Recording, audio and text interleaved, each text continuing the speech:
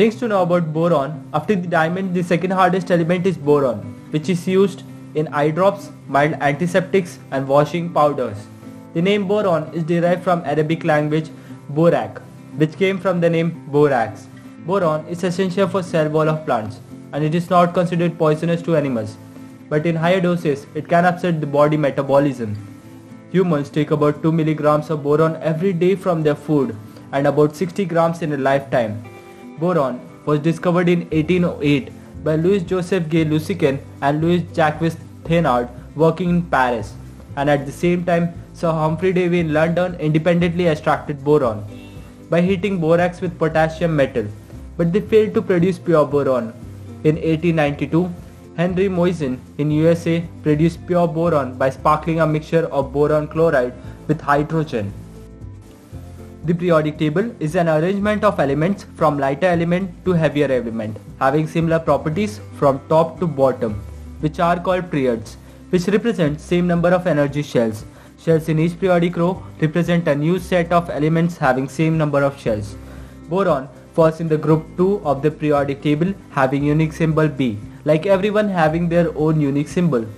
The column going from left to right are the groups Elements in the same group have the same number of electrons in the outermost shell and are called valence electrons. Boron falls in the group number 13 and have 3 valence electrons in the outermost orbit.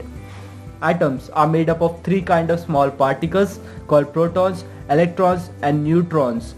The atomic number is the number of proton in the atom. The chemical element of the periodic table are shown in order of their atomic number which is 5 for boron. Boron is used to make bleach and also used to make borax sugar solution to kill ants. Boron has high melting point.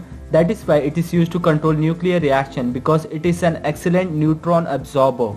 And boron is a good electric conductor at high temperature, but poor conductor at low temperature. Different number of neutrons of a same element are said to be the isotopes of that element. Boron has 6 different isotopes, but only 2 are majorly known, boron 10 and boron 11. Boron is never found free in nature. Pure boron is achieved only in chemical reaction that is achieved in the form of dark amorphous powder and when it is burned it gives green color flares which is used as a rocket fuel igniter. Thank you for watching. Please comment below if you have any suggestions or thoughts related to this video or you like to share any idea that will be very helpful for the future video.